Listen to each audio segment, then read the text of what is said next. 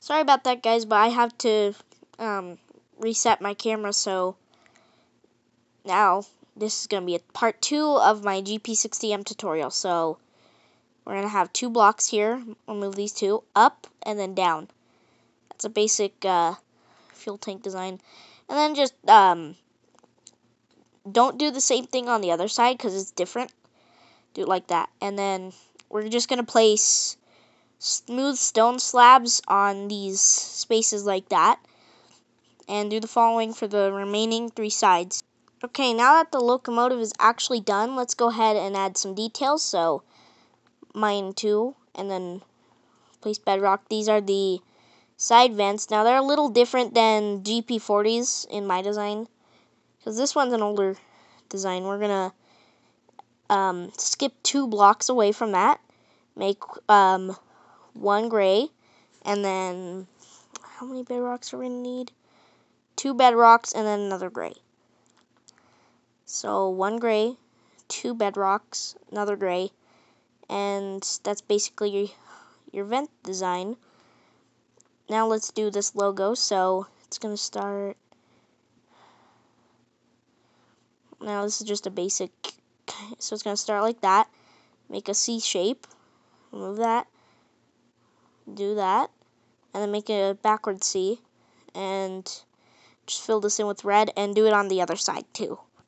Okay, now it's time for the railing, so I'm going to copy this from my Southern Pacific, or no, my Union Pacific SD70M rebuild. Um, we're going to, or I don't know what that is. So we're going to just build a dark oak fence all across here. Uh, skip one block cave music's playing. cave music always plays in this world.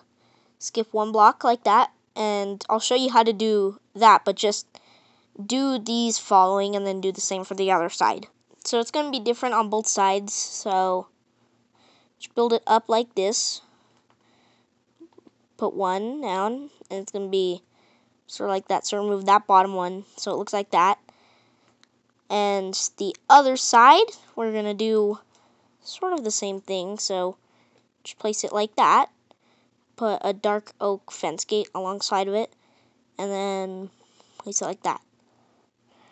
And what other details can I add? Ooh, so this is something I almost forgot. So we're going to add our top light here, which is an item frame.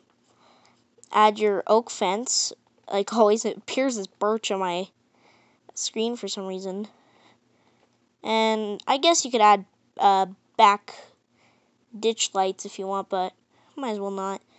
And then add your item frame at the front. Whoops. Like that. And then we're going to have two um, on the bottom for the ditch lights. And that's it. Hope you guys enjoyed this tutorial. And the reason why there were so many cuts in it so you guys could pause the video and um, finish. I don't want to cut too quickly to the next part of the build, so that's why I paused it.